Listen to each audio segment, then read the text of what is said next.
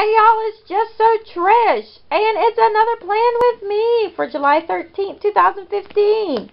Um, we are still closing up the last few little books and such, but um, we are kind of school schooling through the summer because we do kind of go year round every day, whatever. But anyway, so today I'm going to cover my layout, but I also am covering a new form I have made that I'm going to make available in the link down there. And it's um, just a real easy way to keep the grades that you use if you use Christian Light Education. It's just a really easy way to kind of keep track of the grades and where you're at with the books. So that will come after I cover this. Also, don't forget, I have a giveaway going on that ends July 16th, 2015. So if you're reading, watching this video later on, it was in 2015. So don't forget to go find that. I'll throw a link down there too for that. So I do want to tell you that as I'm sitting here planning out, talking to you about my planner, and I really like using my planner as like a spring off to kind of give you a catch up to what we're doing. It's kind of like my little vlog, what's going on with us. Um, I think I'm going to change that and I'm going to make it where I will do 36, a series of 36 plan with me's throughout the year. Now I'm not really sure if it'll be 36. But what my thinking is is there's 36 weeks in a year and I will show you every week and talk to you what we're doing because it's just nice and easy to see what somebody else is doing on her own convenient time to kind of keep us motivated and checked and encouraged. Um, the other thing is keep an eye out. I'm going to be posting a video all about the Christian Light Education Learning to Read program. I feel like this is their star jewel of all of their curriculum. Now, granted, I have not gone into the fifth grade level. I've been experiencing their fourth grade and below. But their learning to read, I believe, is off the charts fantastic. And I'm going to be posting for the next few weeks the curriculum we're using. So keep your eyes out for that also. And again, don't forget my planner. My giveaway for my Dollar Tree haul is this Friday is the video, so you better enter it by Thursday at midnight. Alright, so isn't it pretty? Anyway, it is pretty. Lots of stickers. That's because down here at the bottom is VBS. And it was really cool because, you know, VBS has a theme and a Bible verse every day.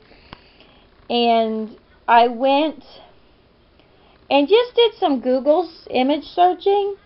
And I was able to pull up these little summaries for the day. And yes, we're doing Everest. You might be doing a different VBS. Every church kind of picks, there's a couple main things that go on. So, I was able to pull those off and they actually had, the image had this part stuck next to it, all the little people.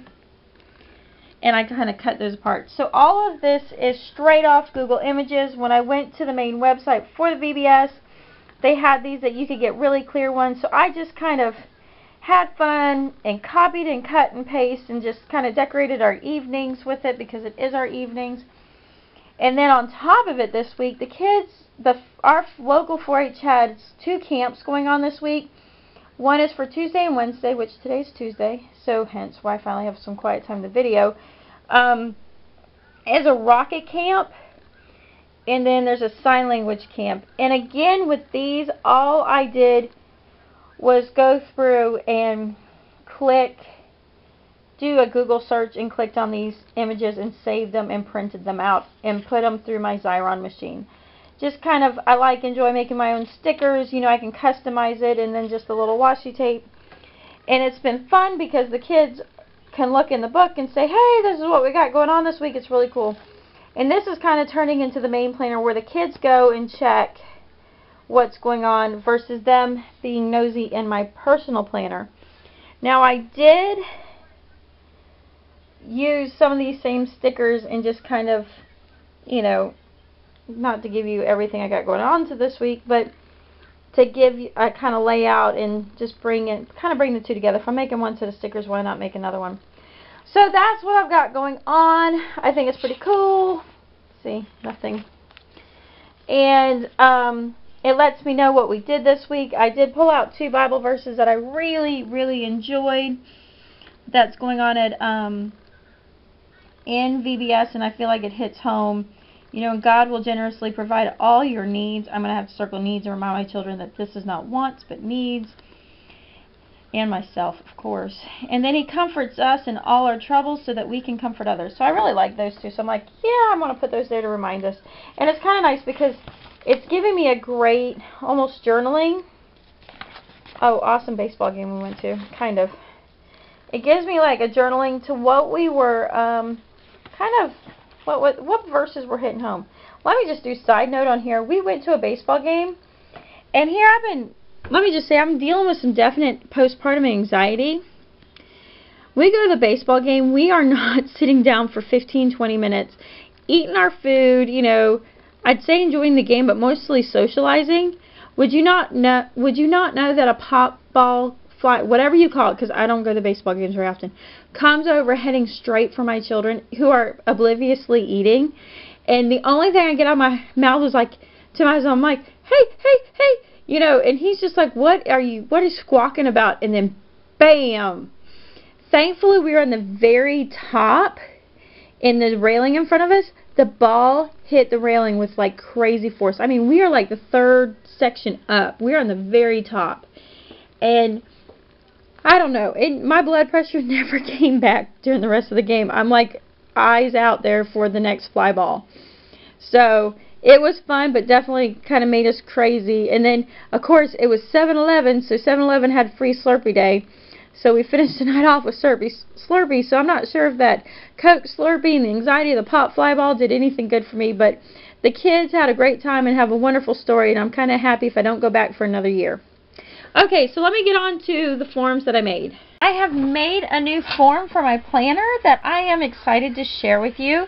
It took me a while thinking about it and figuring out how um, to solve the problem of kind of recording grades. I'm not a really a big grader anyways, but just having a point of keeping track of what we're doing and how, you know, how they do on their quizzes and where we're at and having it all in one place. So, coming from some experience I had in the past with Alpha Omega's um, LIFEPACs, I kind of came up with something probably very similar to use with um, my light units for CLE.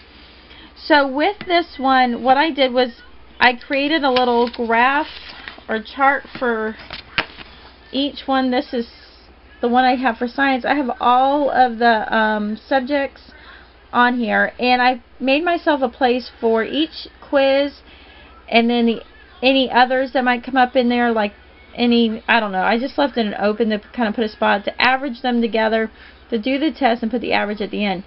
But I gave 12 blocks, even though at the most there's going to be 10, this gives me the ability to kind of move ahead and catch up. So, I, children. So, I have one for each subject, and I put the subject on the side, and I figured at the end of the year I would go ahead and I would write the grade on the side, and I could use this as a report card. I can section it off by quarters, but um, I thought this would be good, and it also helped me out on ordering. I know what I need to have, and I have it in one spot, and I know where we're at.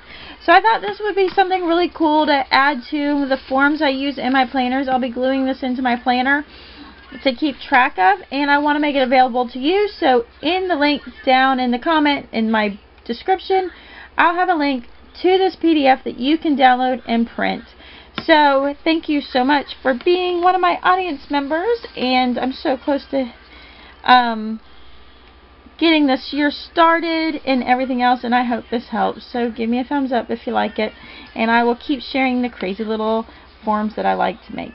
Alright bye